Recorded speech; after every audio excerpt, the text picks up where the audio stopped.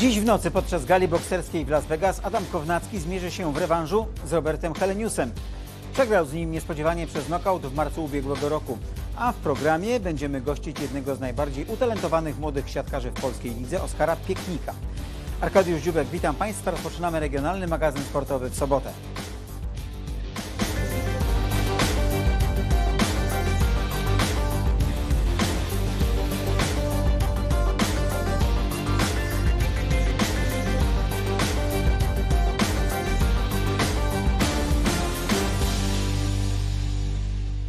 Młodzieżowa kadra piłkarek ręcznych szlifuje formę przed meczami eliminacyjnymi Mistrzostw Świata.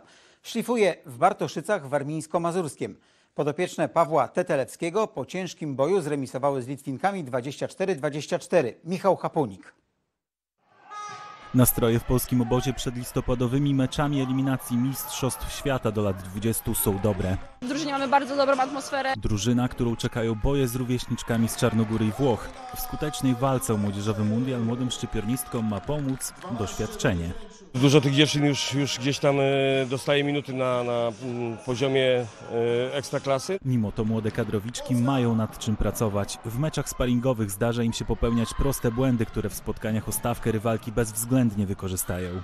Czeka nas dużo jeszcze pracy, ale myślę, że jesteśmy na dobrej drodze. Staramy się e, znowu złapać ten rytm, który miałyśmy właśnie na mistrzostwach i przed mistrzostwami, żeby się na nowo zgrać. Awans do turnieju, który zostanie rozegrany w przyszłym roku w Słowenii, uzyska tylko najlepsza drużyna w grupie.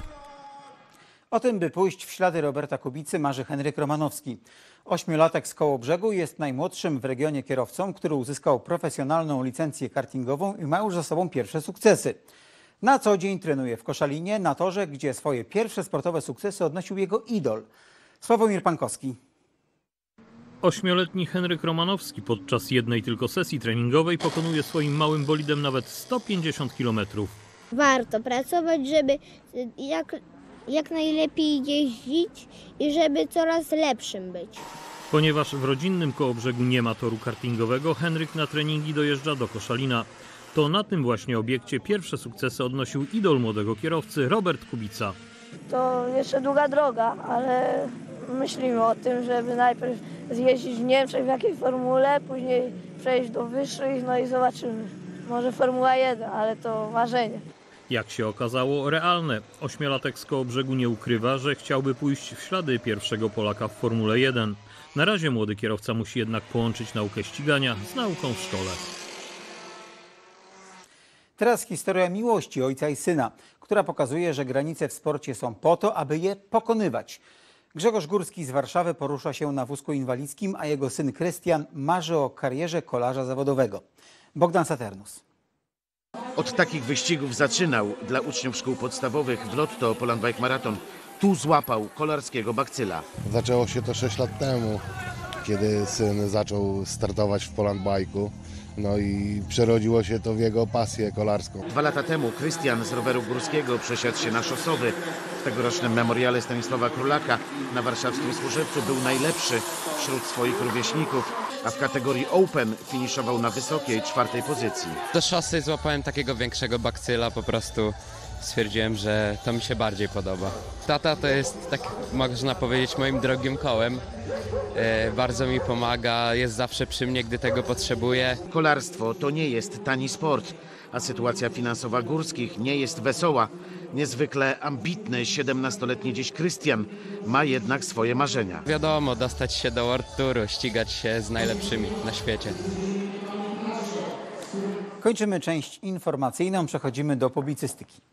Teraz ekipa programu Rusz się Człowieku zabierze Państwa do Rzeszowa.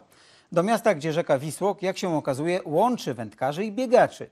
W maratonie rzeszowskim wystartowało ponad 500 osób, a rekord frekwencji pobiły sztafety maratońskie. Relacja Pawła Pezdana.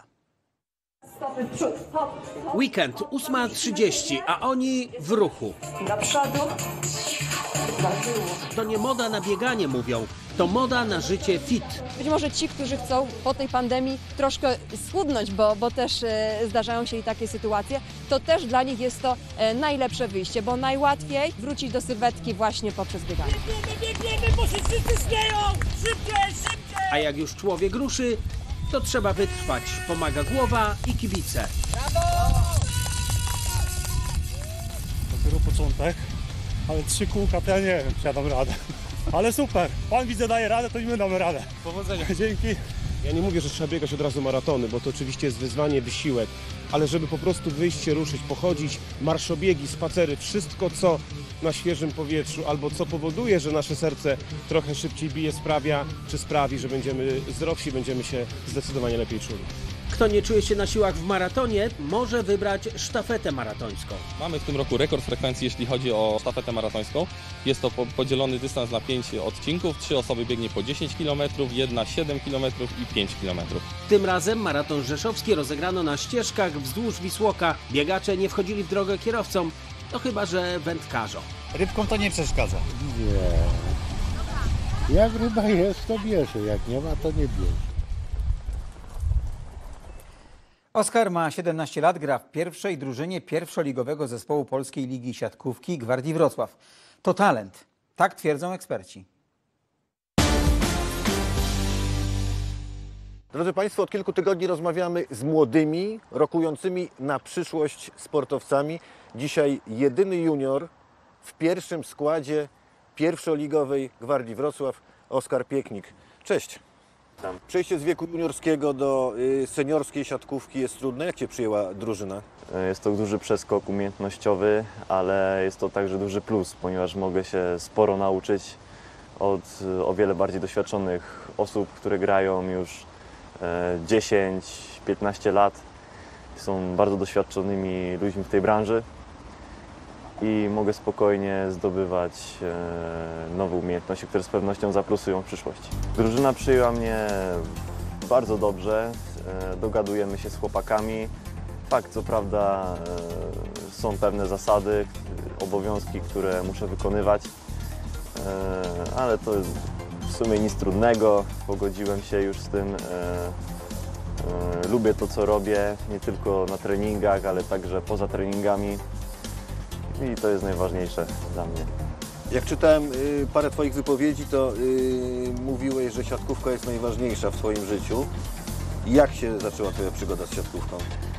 Zaczęła się bardzo skromnie. Zaczęła się od tego, że mój tata e, chodził na amatorską siatkówkę grać z, ze swoimi znajomymi. E, Jakoś się tak to potoczyło, że zaczął mnie zabierać ze sobą. Mi się to bardzo spodobało. Zacząłem robić e, mini postępy e, w amatorskiej siatkówce i postanowiliśmy pomyśleć nad e, znalezieniem klubu, żeby to rozwijać dalej. No i udało się znaleźć gwardię. Trenerzy się zainteresowali moją osobą, zaprosili mnie na trening próbny i tak się zaczęła moja przygoda z siatkówką zawodową. Ciekawostką jest to, że e, e, graliśmy amatorski turniej e, plażówki w wakacje. Zajęliśmy co prawda czwarte miejsce. Po tym turnieju już zacząłem zawodowe granie, w, zawodowe w grupach młodzieżowych. No a dokładnie rok od tego turnieju byłem na pierwszym zgrupowaniu kadry województwa dolnośląskiego. Idol sportowy, zawodnik, na którym się wzorujesz. Moim idolem sportowym jest Mariusz Wlazły, bardzo popularny zawodnik na dzień dzisiejszy, bardzo doświadczony. Imponuje mi w nim to, że przez tyle sezonów potrafił grać e, e, w jednym klubie, była to Skrabę Bełchatów. No niestety los chciał, że od niedawna gra w innym e, zespole plusligowym, jest to Trefl Gdańsk.